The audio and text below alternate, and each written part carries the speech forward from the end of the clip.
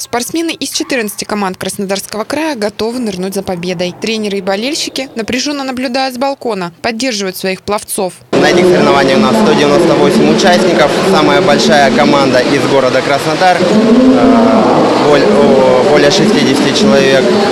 Затем идут команда Анапы и команда города Новороссийск.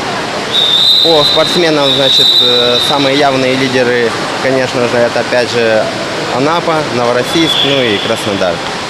Как правило, из этих городов самые выдающиеся результаты. Ну и не только, конечно, развивается, также во всех остальных сейчас у нас по, по краю строится очень много бассейнов. Каждая секунда может решить исход соревнований. Плавание тренирует силу воли, умение собраться, физическое развитие и характер спортсмена. Меня привезли родители, затянул из спорта и все понравилось.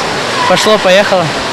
Хотелось выиграть, но получилось чуть-чуть так. Поднимая благобрызг под свист болельщиков, пловцы контролируют каждое движение. Смешение стилей не допускается. Самые быстрые и собранные попадут в сборную края. Наши соревнования проводятся традиционно именно в этот период, в сентябре месяце.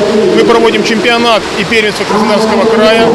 Это отбор для формирования сборной команды Краснодарского края для участия в чемпионате Южного федерального округа, который пройдет в октябре месяце, и в чемпионате России, который пройдет в ноябре месяце. Соревнования продлятся до 27 сентября. После назовут победителей и для спортсменов начнется новый этап тренировок.